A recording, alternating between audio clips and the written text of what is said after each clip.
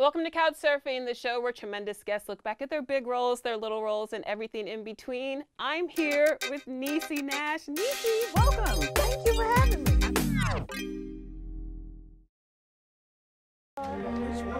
Okay. That one. Claws up. If you watch carefully, all of our nails on the show, our, our lead nail tech is Morgan Dixon. All of the nails she makes for us tell a story. Oh. Really? So they follow the character's journey or whatever they're going through at the time. I'm mad right there. My fingernails are black. Yeah.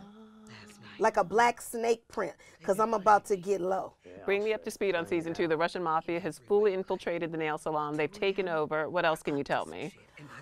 Well, you get to see a little bit more of the backstory, the mm-hmm. behind the scenes of, of some of the girls and why they are the way they are. Mm-hmm. You know, season one, I was trying to get out of the Dixie Mafia. Season two, I'm leaning all the way in. Right.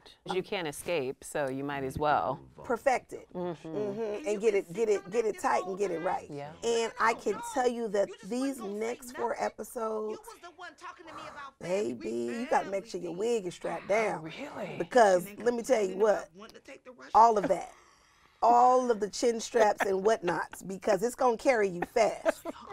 You're gonna be like, what just happened?